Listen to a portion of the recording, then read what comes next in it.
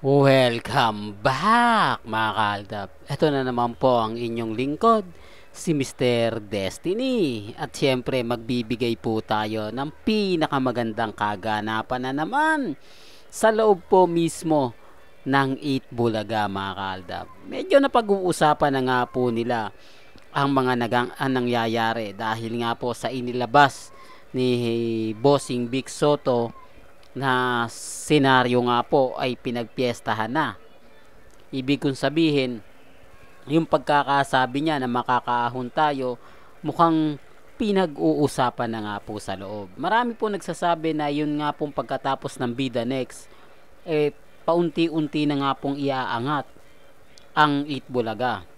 Kung titignan nyo mga kaaldab, sabi ko nga po sa inyo, may mga artista na mawawala rin po o may mga legit dabber cards o talagang sabi natin mga dabber cards eh hindi na masyado makikita. Unahin na po natin si Miles. Hindi na masyado to makikita dahil nga po magkakaroon na po ito at magiging busy na nga po sa taping ng Batang Quiapo. Hindi po ba? Real talk yan mga kaldab. At si Miles uh, si Ma naman po ay magbabakasyon daw po ito dahil nga po malapit na nga po itong ikasal sa kanyang mapapangasawa. Di po ba? Real talk yan. Kaya mag-meet ko ya mga kaldab si Ruru, Bianca, ang madalas na nga puro makikita at yung nanalong bida next sa Eat Bulaga. Alam nyo, sa totoo lang po, ito lang po yung gagawin ng Eat Bulaga. Ibabalik na lang po nila si Jose, Paulo, si Mengay, di po ba? O sabihin na natin wala si Mengay, si Jose, si Paulo, si Wally at si Alden. O apat na lang po yan para lang po sa kalaman ng lahat para maging masaya. Di po ba? Marami po kasi nagsasabi na hindi na nga po raw kailangan ng Aldab, kayang-kaya pa rin po yan ng Itbulaga. Sabi nga po nila, nagawan nga po daw ito ng mayangat. Hindi po ganun. malaking tulong po ang ginawa ng Aldab. Kaya hindi nyo po pwedeng sabihin na wala pong kumbaga na itulong ang Aldab Nation. Although nagamit ang Aldab ng Itbulaga, ginamit din naman po ng Itbulaga yung Aldab. Naggamitan lang daw po mga ka-Aldab. Pero sa pinakahuli, sino nga po ba ang nakinabang? Sino nga po ba talaga ang masasabi natin na 101%? At bakit naman po kasi pinaghiwalay yung dalawa? Kasi mataasan na ng pride eh. Pride ng GMA, pride ng 8 Bulaga. Di po ba? Uulitin ko lang po, may edad na si Mr. Tubiera. May edad na rin po sila Bossing, Henyo Master, Joey De Leon. Hindi sila hindi porket sila ang producer ng 8 Bulaga.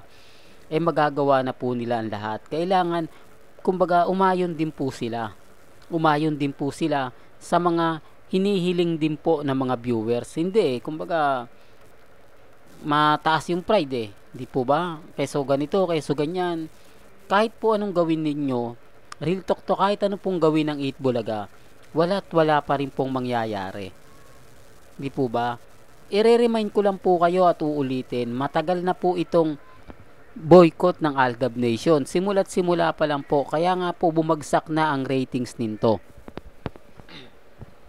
simula po na wala yung showtime, eh hindi naman po nag-click ang 8 Bulaga na sinasabi nilang magki-click. Hindi po.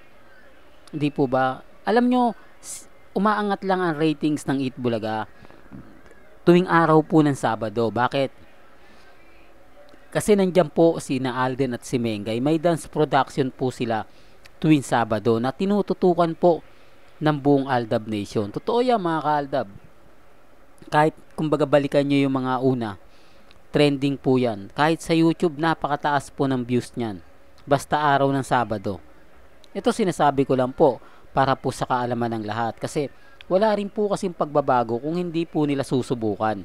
Marami kasi nagsasabi na subukan nyo na tignan natin kung magkiklik o hindi. Di po ba? Bakit hindi po kasi pagbigyan ng mga writer o ng producer ng Itbulaga na ibalik mo, ang Aldab pansamantala. Di po ba? Kung titignan kung magkiklik o hindi, si Alden, anumang oras po pwede naman pong bumalik yan. Sabi ko nga po sa inyo, hinihintay lang po niya ang 8 Bulaga Gaya nga po ng sinabi natin, si Alden talagang depende na rin sa GMA kung pababalikin siya. Kasi alam naman po natin na kapag pabagsak na nga po ang Itbulaga, gumagawa po sila ng paraan. Pero ngayon, parang hindi eh. Parang pinababayaan din ng GMA na bumagsak ang Itbulaga. Di po ba? Wala silang pinadadalang artista na ikaaangat ng Itbulaga. Wala silang pinadadalang artista na muling bubuhay sa sigla ng Itbulaga. Real talk yan mga kaaldab. Kahit po ang daming mga award na nakukuha po ng mga host ng Eat Bulaga, parang kulang pa rin eh.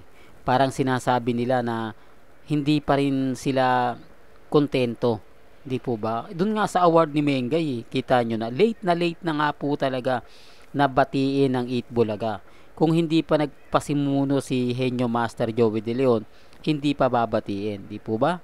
Yan po yung isa sa mga sinasabi ko lagi. Yan po yung isa sa binabalita ko lagi. Pero gaya nga na sinabi natin mga kaldab, Depende na lang po sa pananaw at opinyon kung hanggang saan nga po ang Itbulaga. At eto pa po mga kaaldab, yung pagbabalik ni Mengay o yung pagbabalik memory na 2014, talagang kinagiliwan po ng mga mamis. Biruin nyo 20 at 2014. 2015 po mga kaaldab, almost mag 8 years na si Main Mendoza sa Itbulaga. Talagang kung ititignan nyo, talagang nakakataba po ng puso. Kumbaga, parang masasabi mo na parang kailan lang, di po ba? Diyan na naman po nabuhay ang saya ng Aldab Nation noong mga panahong paparating at papasok si Mengay sa Itbulaga na kung saan talagang binigay ng suporta, di po ba? Na dati-rate sina Bossing, Henyo Master Joey De Leon, Tito Sen ang nagbubulgar sa relasyon nila Mengay at Isoy. Real talk yan sa mga hindi po po nakakaabot niyan, sa mga baguhan pa lang po. Madalas pong ilaglag ni Tito Sen, ni Henyo Master Joey De Leon ang mag-asawa. Kung nasaan sila, kung kailan, kung ano saan sila saan sila galing, kung bakit minsan wala sila, di po ba? Tapos yung kaganapan kay Alden, kay kaganapan kay Mengay, sila po ang nagmimistulang kumbaga showbiz o ibig sabihin na scoop dahil sila po agad ang unang nagsasabi. Sila po yung nagpapahiwatig. Kaya nga po yung Aldab yung mga panahon na yan.